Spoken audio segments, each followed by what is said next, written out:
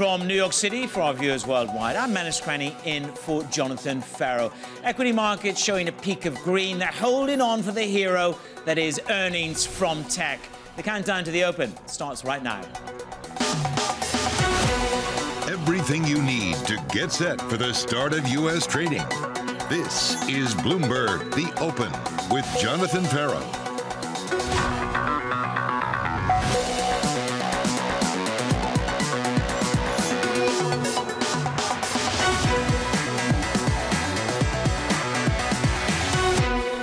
Coming up in the show, stocks float with another record as the earnings season starts to heat up. China considers a $278 billion rescue package, and its GOP showdown in New Hampshire with Trump versus Haley. We begin with a big issue attention turning to tech.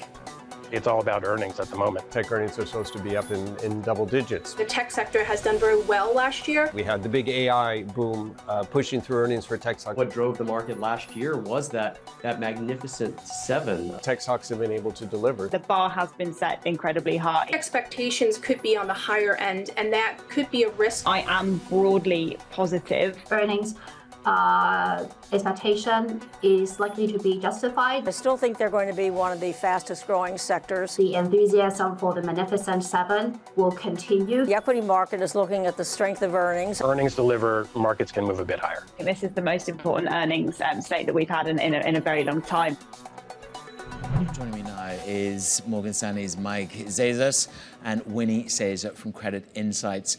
Tech, tech, tech, tech. There's a frenzy. There really is uh, quite a frenzy in this market this morning, and we are now down to depending on tech to deliver. When you look at risk, to me, it feels like a coiled spring. Uh, Michael, you would say we've got to thread the needle, and there's very little room for error. With that in mind, how important is the earnings in this part of the risk cycle? I think it's important. And listen, I think this is a really interesting time to be looking at tech and considering AI in the sense that there's about $6 trillion of market cap added last year uh, for what we call kind of AI enablers. And this is a year where kind of like the rubber should meet the road, and we should be able to see if a lot of those use cases are um, actually going to add value. I mean, as it pertains to, to equity market impacts, though, and, and translating it back into fixed income. I mean, listen, I think the, the equity market is already kind of priced in a lot of ways for this idea of a soft landing, fixed income less so.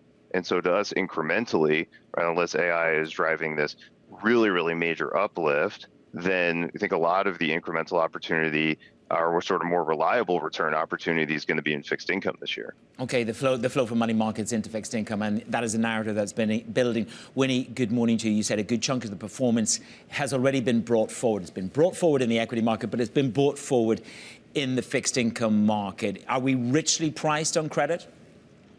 Good morning to you as well, and thanks for having me. So, we're actually at our year end targets for both US investment grade and high yield. And we really got there pretty much by the, the end of 2023. So, we pulled forward performance by almost a full year. Now, it is quite typical to see a lot of performance realized in the first few months of the year. And I think especially true this year when you do have a back half with political risk and the Fed risk and all sorts of different storms possibly brewing. I think that the expectation was to have a pretty good January, February, and then people sitting on their hands a bit more. But the fact that we realized so much performance really in November, December of last year has left a lot of people wondering kind of where do we go from here? And we've actually been recommending to clients that we should take a pause and be tactically a bit more cautious despite having a long term constructive view on credit.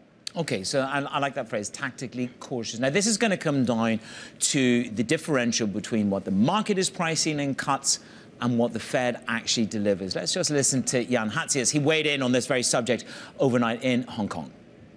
The Fed is on its way to achieving uh, the soft landing. Obviously, no guarantees, but I like what I'm seeing. A March cut or cuts in general over the next few months under our forecast are somewhat optional. The economy is holding up, you know, pretty well. We don't think it's essential that they that they cut here, but it would be consistent with the signaling.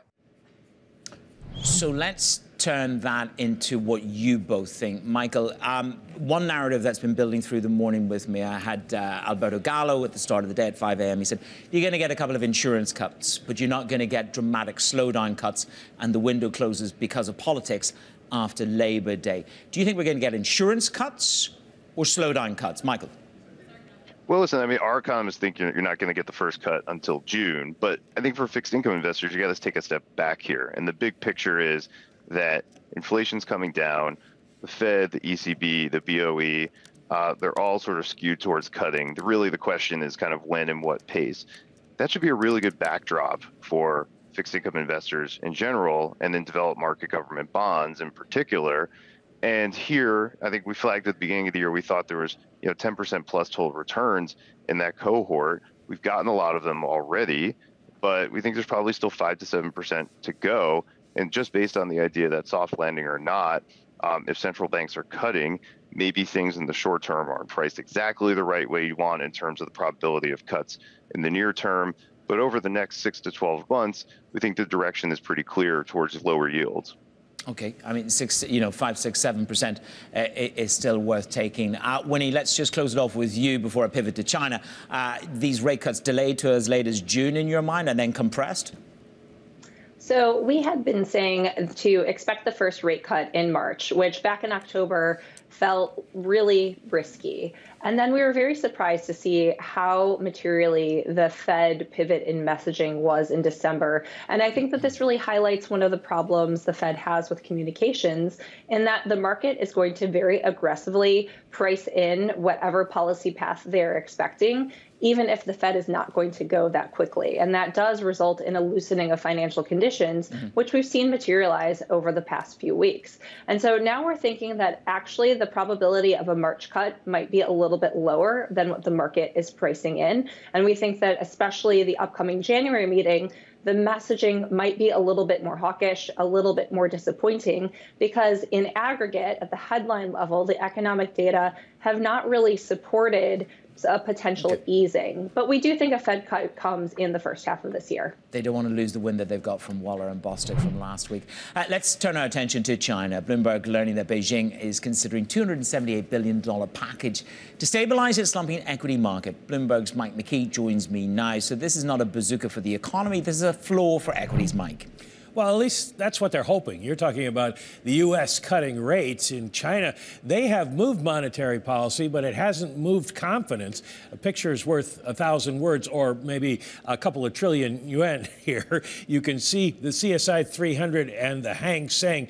They have lost uh, 10% and six, almost 7% on the year, and that just builds on what they lost last year. It's been an elevator down for the uh, Chinese stock market. So people familiar are telling Bloomberg News that they are the Communist Party, at least, is planning a rescue package to put a floor under the market. Two trillion yuan, as you said, $278 billion from offshore state owned enterprises, from cash they're keeping out of the country. Brad Setser asks, why is that money out of the country? they really want to bring it back, which is an interesting unanswered question. But they would bring it back buying onshore stocks through the Hong Kong exchange link. There is also a plan to spend 300 billion yuan, uh, $42 billion from local funds. They'd buy onshore stocks through government investment funds, primarily through Shanghai. Uh, we also heard that regulators are guiding, in their words, insurance companies against short sales. Uh, is this going to work? Well, along with Brad Setser, there are a number of other people who think this is a questionable program.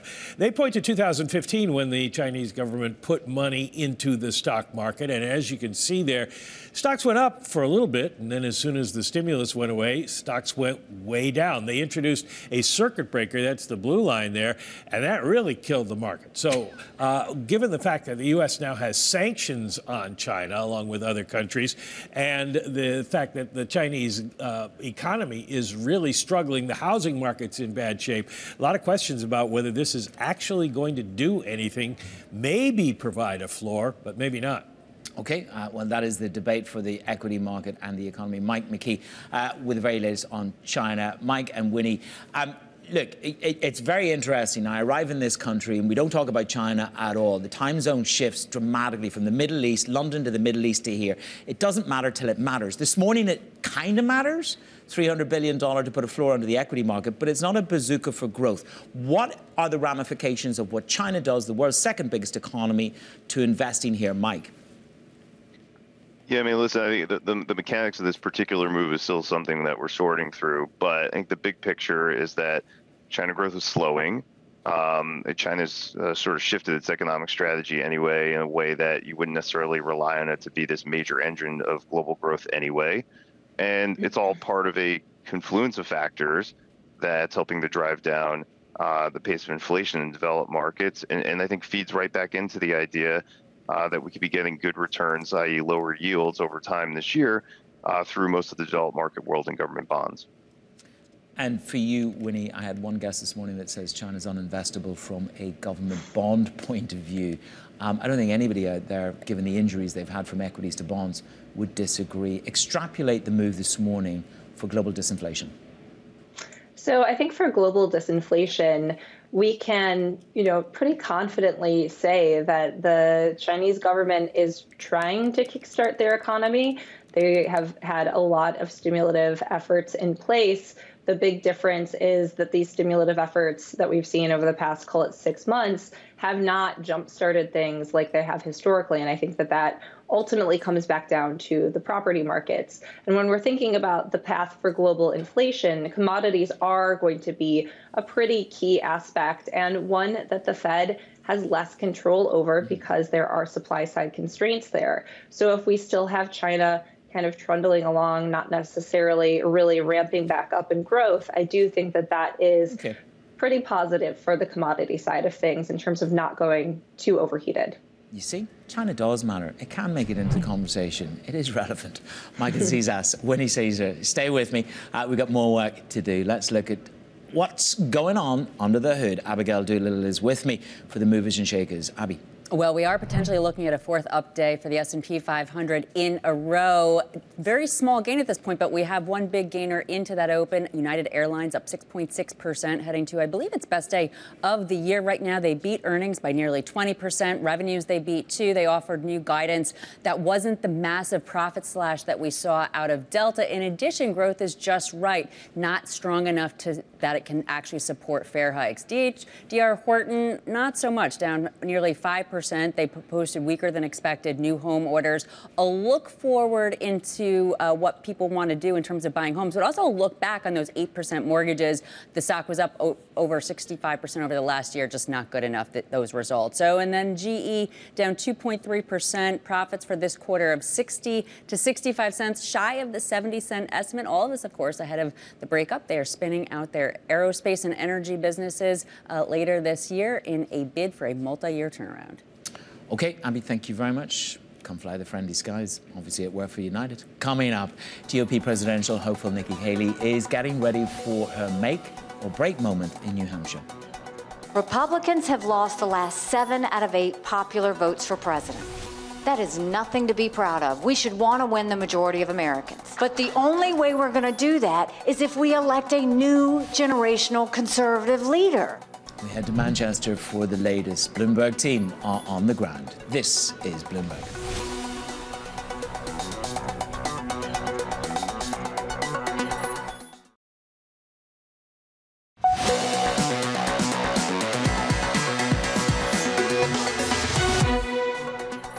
We should want to win the majority of Americans. But the only way we're going to do that is if we elect a new generational conservative leader. I voted for Donald Trump twice. I was proud to serve America in his administration. But rightly or wrongly, chaos follows him. You know I'm right. Chaos follows him. Showdown time. Donald Trump, Nikki Haley head to head in the New Hampshire primaries. Polling showing the former president has a commanding lead over the former UN ambassador. Another blowout win for Trump could all but secure this nomination. To New Hampshire we go. Kailey Leinz is on the track. So there's already been a little bit of overnight voting in, what's it called, Little Dixie? I'm learning so much about America, it's killing me. Uh, so where, where, do we stand, Kaily? Good day.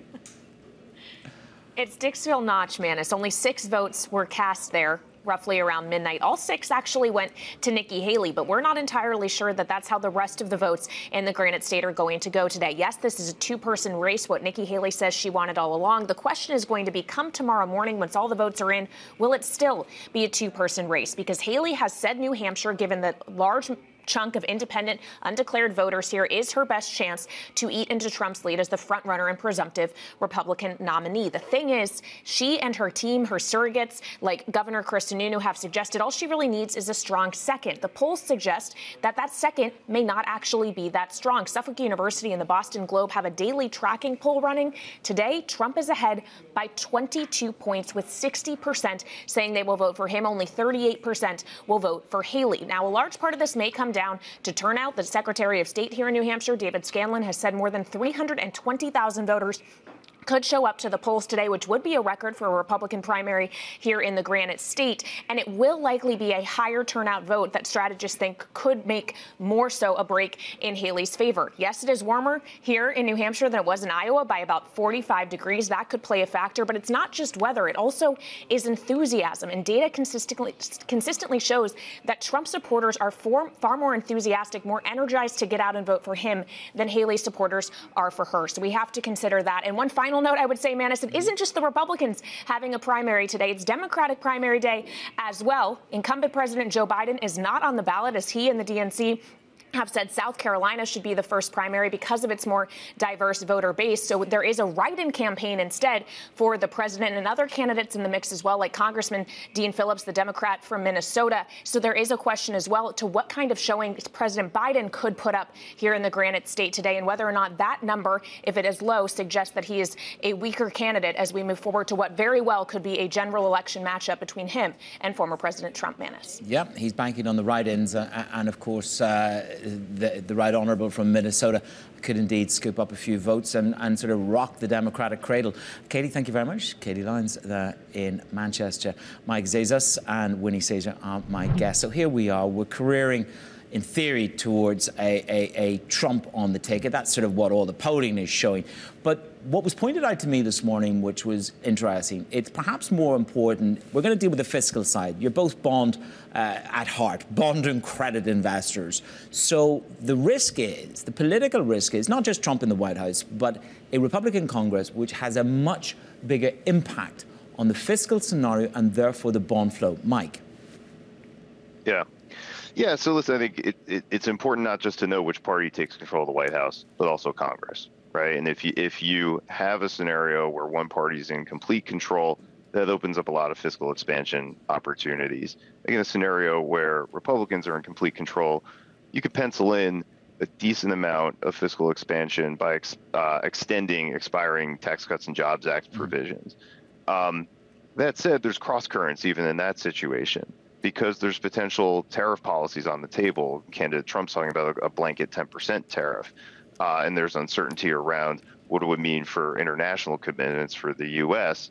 Uh, that could snarl supply chains and the like. So I think you could put some expansion on the table in that hypothetical. Mm-hmm. I don't think it's necessarily a straight line to make some strong conclusions of yet anyway about what it would mean for the bond market. Okay, so look, it's still a bit early, and I grant you, you know, you're dealing with slightly more known quantities, both in terms of rhetoric, policy style, and ability to execute. Winnie, um, you know, here we are, we're at 412. We could have a very different narrative coming from the Trump campaign if the polls are to be to believe between now and the end of the year. Would that shake the bond market, or is it just too soon to get the bond market really to blink? Do we just trade 375 to 325?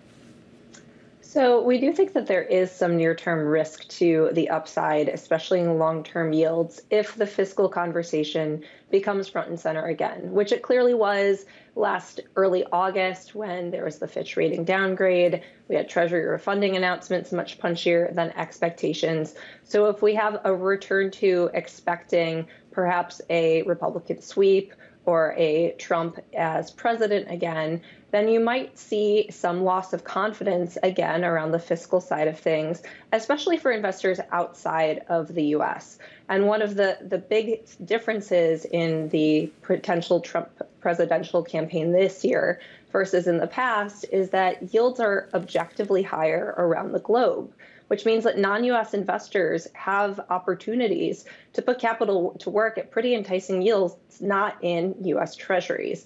And that is something that we see as a meaningful short term risk, as many clients are positioned for yields to remain pretty range bound in the near term.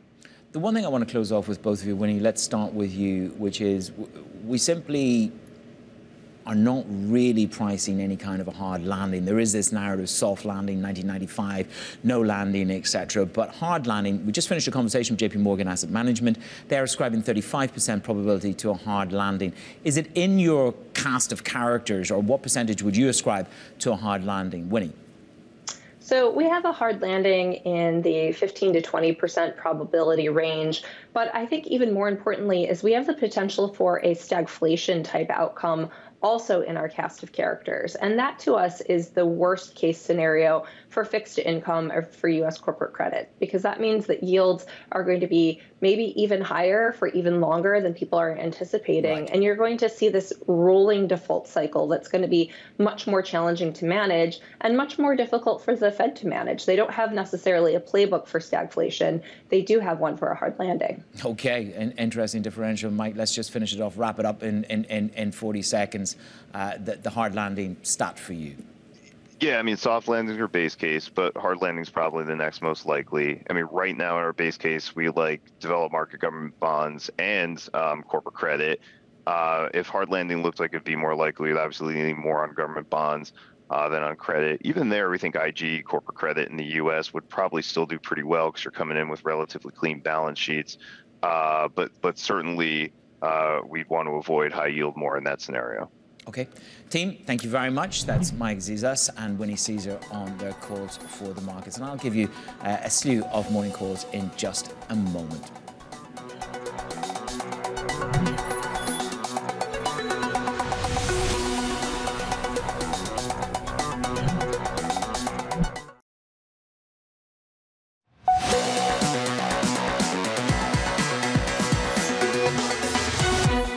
Just holding on to a slightly uh, broader bid to the Russell 2000. and The rest of the markets holding on for Netflix and the other tech numbers to come in. Let me give you some of your morning calls uh, that are going to set the agenda. We've got the analyst recommendations. This is what we've got for you.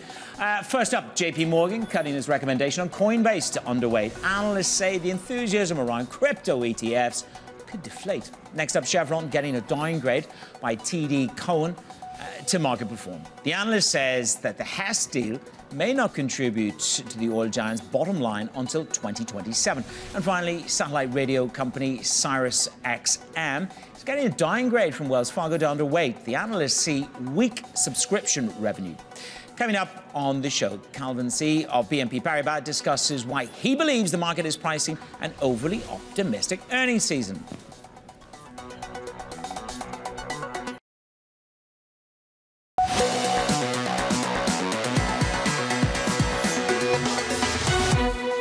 Markets quite literally holding on by their fingernails for the hero that are the technology earnings. Uh, look at that. See who's opening the opening bell? There you go. That matters probably more to the sentiment. Uh, there you go, Mr. Johnson.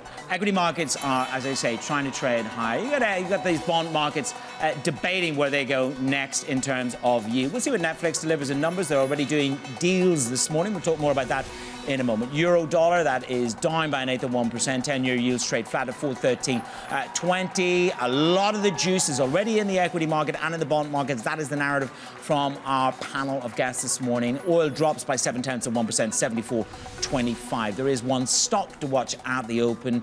United, the airline beating on expectations for this year, the outlook, despite the hurdles being presented to them by Boeing. Come fly the friendly skies with Abigail Doolittle and United.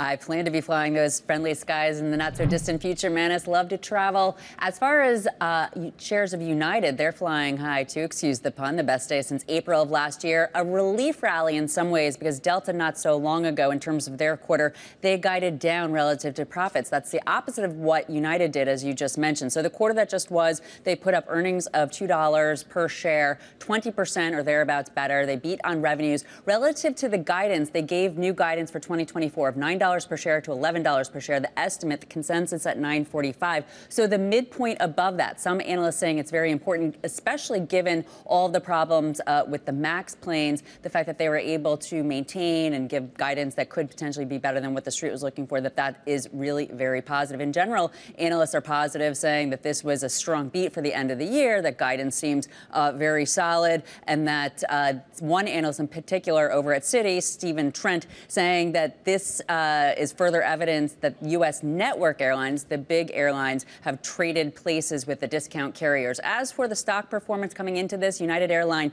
underperforming two of those other big airlines, down about 21% relative to Delta, down 5%, and American Airlines down 16%. But probably now, after uh, today's big performance, at least right now, Manus, it's probably trading a little bit more even to American Airlines, but still some work to do to fly positive on the year. Okay, Abby, thank you very much. Let's stick on the earnings one. Johnson & Johnson beat most of the estimates with medical device sales and pharma revenue driving the profit. Katie Greifeld is with me now. Johnson & Johnson uh, steams ahead. What drove the numbers? Well, there was actually a lot of good news here. You take a look at the shares, you're not necessarily seeing that. But to get specific, fourth quarter earnings, they actually beat most expectations. That was thanks in a big part to medical device sales and better than expected pharma revenue. Two areas with plenty of high margin opportunities, which bodes well for Johnson & Johnson. CFO John Wolk also said that uh, Joe Wolk, rather, he said that, quote, large M&A does not scare us and that the company is considering uh, pharma deals. So a lot of movement going on at J&J. Shares currently lower, though, as you can see, by about 2%. We'll see how long that lasts, given if you take a look at the sell side, pretty positive on this report. Citi, for example, saying that the strength in the firm's medical devices unit bodes well for peers. You also have JP Morgan saying that the numbers highlight healthy underlying trends for J&J's business. So stay tuned, but currently down by more than 2%. Okay, we'll keep an eye on that. Katie, thank you very much. And tune in to our interview with the CFO at 10:40 a.m. Eastern Time. What level of AI overlay can he put into Johnson & Johnson? That might help the stock. Different earnings outcome for Dr. Horton, the home builder, reporting weaker than expected quarterly orders amid high rates. Natalia uh, joins me now with more detail, down 4.43%, so a bit of pressure there. That's right, Manus. So quarterly earnings came up 35%. That sounds year over year. That sounds like a lot, but it was an easy comparison and the number came below expectations. EPS also disappointed, but at the same time, the US home builder was very optimistic about this upcoming selling season this spring. They also slightly increased forecast revenue for the full year. So 2023 was a very challenging year for the US housing markets. Uh, rates uh, were elevated and it's pretty much understandable because who wants to buy a new house when mortgage rate was about 8% and if you bought it especially during the pandemic when rates were at 2%. So now mortgage rates are coming down. Big US home builders are using incentives. They have an opportunity to provide lower uh, rates for customers, somewhere around 5%, and it helps them a lot. So as mortgage rates moving down, we see this increase in US home building sentiment. In January, it spiked by the most this uh, uh, by the most in nearly a year. And we see that it's still actually slightly below pre-pandemic levels. During the earnings call, the company also said that they will continue using incentives and they are ready to reduce prices for homes and also uh, reduce square footage when necessary just to boost sales. There you go. Trying to get those uh, houses off their lot. Of course, it's D.R. Horton, not Dr. Horton. Irish humour doesn't go a long way in New York, does it? Natalia, thank you very much. Another earnings number for us to keep an eye on. Procter & Gamble, the consumer goods company, missing the estimates as volume continues to slip. So where was the slippage? Simone Foxman can give us the details. Stock uh, 5.5% higher, Simone. So talk us through it. Yeah, there were some mixed messages here, but uh, the uh, analyst class clearly reading the positive ones, and that's why we're seeing shares up well over 5% this morning. This is the maker of Bounty paper towels, Downy fabric softener. Saw that organic revenue miss. That was where we saw some pressure. Beauty sales up 1%. Everyone had expected that they would be up 3.8%. Baby and family care also falling short of estimates, and the company complaining of a slower than expected recovery in China All of this weighing on overall sales. Overall net sales 21.4 billion. The expectation had been 21.6.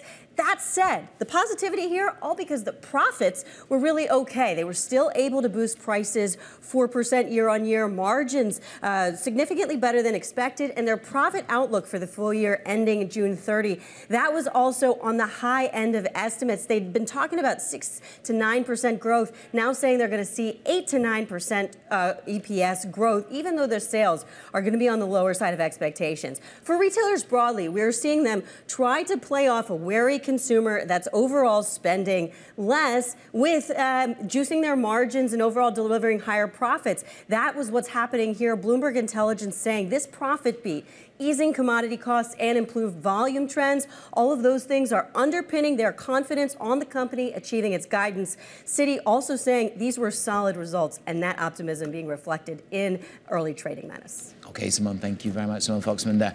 Uh, let's turn to our guest now. It is Calvin Tse at BNP Paribas weighing in on earnings. He gave it to another newspaper, but we won't hold that against him. Here we go.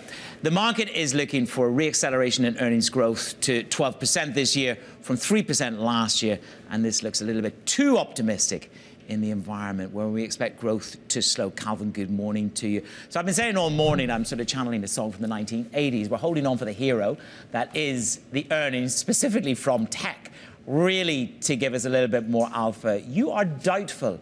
Why are you, why are you committing this crime of doubt? Sure, thanks for having me, Manus. Our main message is that we think the markets are too optimistic for this year. If we look across asset classes, including in equities, it looks like the markets are perfect, perfectly priced for a soft landing in the United States. We expect that landing to be a bit bumpier. We're expecting growth to essentially be flat in the first quarter, looking for a small contraction in the second quarter, and that is an environment that we think is going to be quite difficult for the markets to meet their earnings expectations. As you said, the markets are looking for an acceleration of earnings this year from 3% to 12%, which we find hard to see in an environment where growth is slowing. Now, you did say to another newspaper, despite all the enthusiasm that we've seen in stocks right now, we're inclined to go the other way. Now, what does that mean? Does that mean de risk? Does it mean short? Does it mean hesitancy? Translate for me. Sure. There are different ways that we like uh, protecting the downside. One is uh, options at the moment are quite cheap, so we like buying downside protection. As well, uh, there are certain pockets of the market we think that um, make overwriting strategies look quite attractive. Uh, in other words, uh, if you cannot uh, go short the market, uh, you could own your stocks, but at the same time sell topside calls, and that allows you to collect some premium, earn some income, while at the same time uh, being in the market. Again, as we don't expect the markets to trade significantly higher from here, we think those kinds of strategies make a lot of sense for investors who need to stay invested in the market. And to a certain extent, uh, we're having a debate this morning and every morning about the timing and the type of rate cuts that come. So this morning so far, I've had, we're going to get insurance rate cuts from the Fed, and maybe that's two cuts, and then the window closes as of Labor Day for them. Does that sound about a base case for you? Because you're quite bearish in terms of the number of cuts and the timing. That does not really resonate with our own views. Our own view is that the Fed starts its cutting cycle in May of this mm-hmm. year. They cut 25 basis points that meeting, and they cut 25 basis points for every meeting for the rest of the year. So we're looking for 150 basis points of cuts this year. And while that may seem a lot, the Fed is only forecasting three rate cuts for this year. We don't think it's that extreme, especially when we're thinking about policy in real terms rather than nominal terms. We're expecting quite significant deceleration in inflation this year. And as that occurs, the rate cutting regime that we envision basically keeps real rates steady. In other words, it's not adding a ton of accommodation into the market, but if the Fed didn't cut consistently, we think, in the back half of this year, it would push real rates higher, which would actually tighten conditions, which is something that the Fed probably wants to avoid in a scenario, again, where we see growth slowing down this year. So, if that's your view in terms of rate cuts beginning in May, we go one each uh, e- each meeting then. How do you think this plays out then for the curve? Because that is a series of rate cuts, not predicated on any massive implosion in growth, I'm presuming. Uh, it's the fabled soft landing and, and behavior and inflation. How do you see the curve reflecting then? Sure. So for this year, we don't think the markets are that mispriced. We're forecasting 150 basis points of cuts. The markets are forecasting about 135, so we're not too far off. Where I think the best opportunity on the curve lies is not for 2024 pricing, but where the markets have priced for the endpoint. In other words, the terminal level of cutting. And what's really interesting to me is that the markets have pulled forward rate cuts quite aggressively over the last few months into this year, but that endpoint has been pretty steady. And we're currently around 3.35%, and we've been hovering in that three and a quarter to three and a half range for quite some time. That's another sign to me in the rates market that the markets are, again, very optimistic because the Fed's view of where neutral policy setting is, rates that are neither restrictive nor easy, is at 2.5%. So the market's expecting the Fed to end close to 3.5, mm-hmm. suggests that in the rates market as well, the markets are looking for a very soft landing. We expect that landing to be a little bumpier than the markets expect, which is why our own forecast is that the Fed ends its cutting cycle at 2.75%.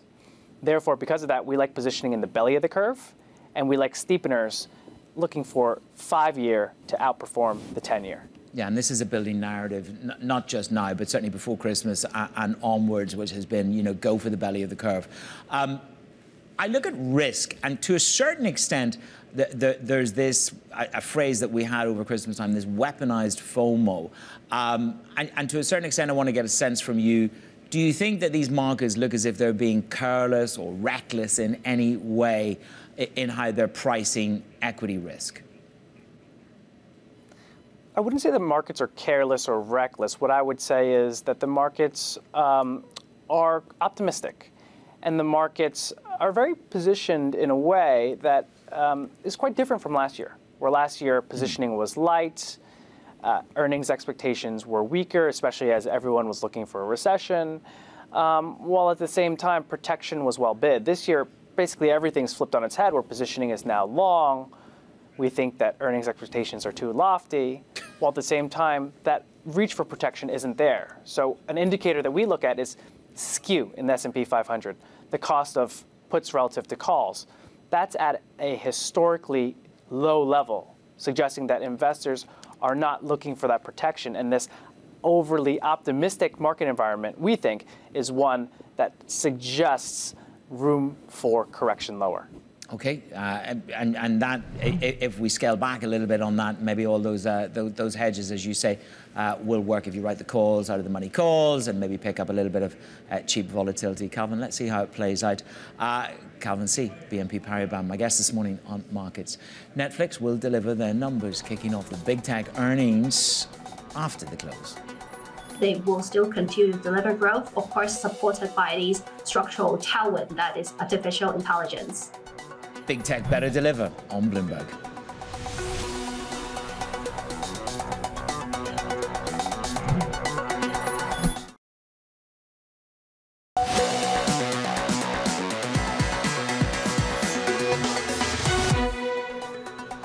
If you look back, not just last year, but in the past five years, right, the uh, compounded annual growth rates of these mega cap tech companies has been great, you know, ranging from 15% to uh, even 30% for the EPS growth. So I do think that this earnings uh, expectation is likely to be justified. They will still continue to deliver growth, of course, supported by these structural tailwind that is artificial intelligence.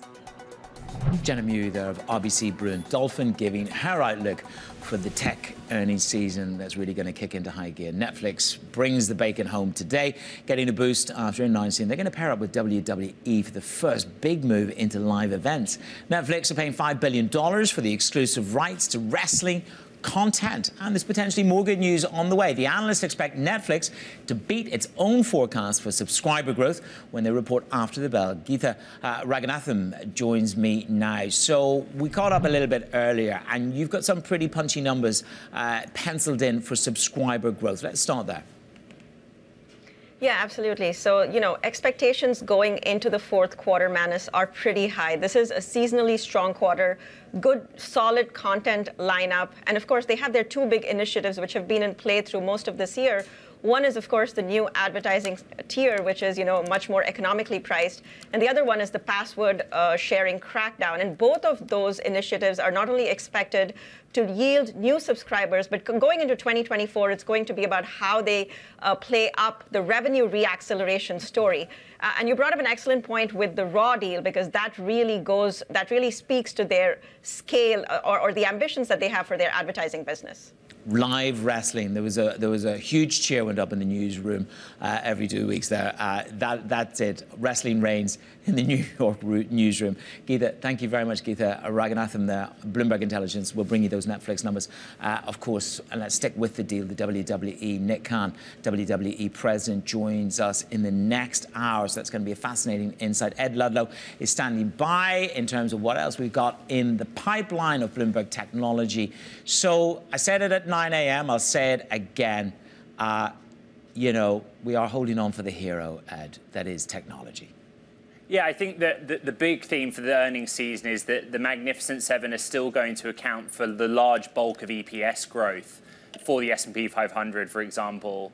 Um, but this week we kind of start in earnest. The chip sector is really important to watch. Texas Instruments is a maker of very basic chips that go into very many end markets but they also are seeing shrinking bottom line because uh, many customers have been working through a build-up in inventories. And then you look at Intel later in the week, the first time that they're due to report both revenue and profit growth in the post-pandemic era. But the thing they both have in common is the outlook for the 20, for 2024. TSMC's capital spending plans for this year they're the biggest contract manufacturer of chips, made us confident. Um, and then go back to the Magnificent Seven. Tesla is first up this week, you know, record quarterly sales expected. But again, look to the bottom line. That seems to be where we're going to be most focused because they had to heavily discount and incentivize in the final three months of the year, with analysts expecting a drop in EPS, excuse me, of about 39%. Um, and Tesla has this target of 50% annual growth, which means that they should guide us towards 2.7 million EVs in 2024. The street thinks they'll guide to 2.2. Um, but the broader story with EVs has been that we will still have growth in global sales this year, just not the growth we expected. And of course, being the market incumbent and the leading pure play in EV, Tesla is the best barometer of that. So buckle up, Manus. It's an exciting week. They let me out of my box, and I'll do my thing. and you'll do it very well. Ed, thank you very much. Bloomberg Technologies, Ed Ludlow there. Calvin Tse is with me, BNP Paribas, for his final thought. You know, there is this view buy strong tech with balance sheets. They earn money in a rising uh, rate environment. Here we are going into a cutting rate environment. Will that embolden the growth to value narrative? Thanks, Manus. A lot of the equity rally that we've seen over the last few months has, in large part, be been because of the macro environment. And what I mean by that is we've seen a large rally in rates over the last few months. And that large rally in rates has meant essentially that these earnings in the equities market has been discounted back at a lower level. What's notable, though, is the driver of the rates rally. And the driver of the rates rally has largely been improving inflation. Mm. So inflation lower, rates lower, the equity markets love that. Going forward, however, we think that significantly lower rates from here, uh-huh. the driver is going to change. And with the markets already pricing the Fed to cut essentially at 25 basis points a meeting for the year, for rates to go lower, we need the markets to be pricing 50 basis points a meeting. And we think a necessary prerequisite for the markets to get there is that growth needs to weaken quite significantly. So the main message here is that lower rates from here, we don't think is necessarily going to be that equity market supportive because the driver is likely to change. Okay, Let, us see uh, how the year pans out. It's still, you know, it's still fresh in the year. Nobody really uh, has that crystal ball. Calvin, thank you very much, Calvin Tse. Uh, on the markets right here on Bloomberg.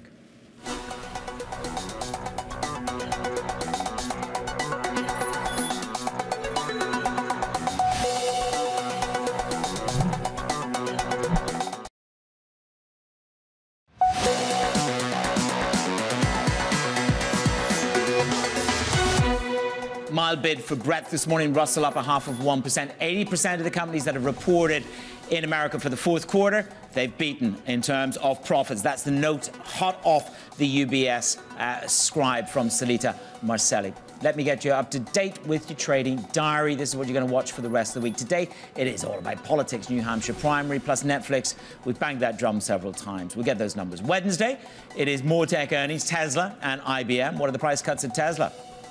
Thursday, it is macro monetary policy. ECB is on the block, and we will get a read on the growth story in the United States for the GDP.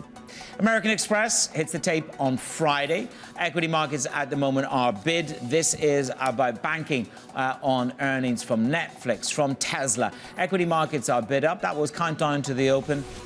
Thanks for joining us on Bloomberg.